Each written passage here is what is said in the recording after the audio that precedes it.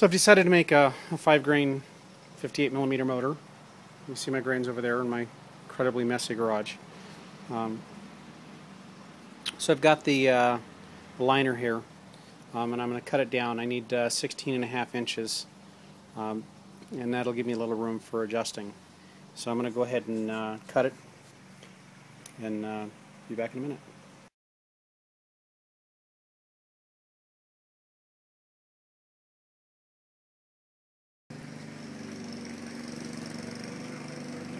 So this next video here I'm going to show you how I go about packing uh, my rocket motors. What I have here is uh, my homemade igniter. Um, I'm going to show you how I make them. This is a solderless design. So no soldering, no burning your fingers, and uh, they seem to work every time. Uh, I don't have to go get uh, any nichrome wire. I've got my, uh, my tube that I just cut, and it's got some grease in there or some some grease in there. I slid it in the motor casing just to make sure. My five uh, my five grains and the O-rings for the uh,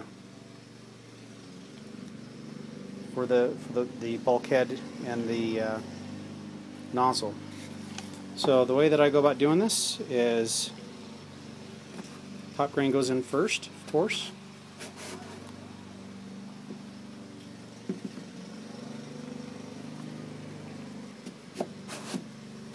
So I can't do that uh, and talk at the same time here. So I'm going to stop the recorder and come back and show you uh, what the finished product looks like.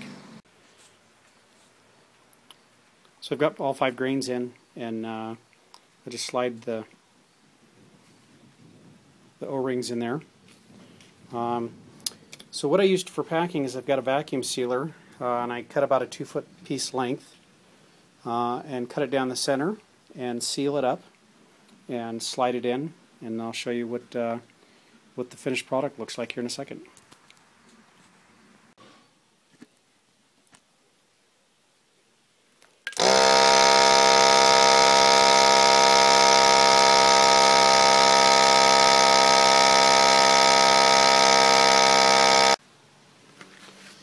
Alright, so I finally got it uh, vacuum sealed. I had a, had a hole in the bag, so I had to take the bag apart and redo it. So uh, and then I label it and put it away for storage and light. So that's how I go about making my motors from start to finish.